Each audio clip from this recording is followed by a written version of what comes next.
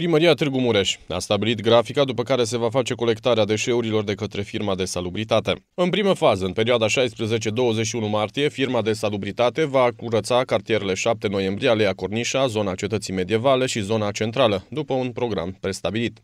Astfel, proprietarii gospodăriilor individuale și asociațiile de proprietari trebuie să-și curețe casele, curțile și spațiile verzi din fața blocurilor și să depună deșeurile rezultate în grămezi pe marginea drumului. Viceprimarul municipiului, Claudiu Maior, a făcut apel către președinții asociațiilor să respecte programul stabilit de autoritate.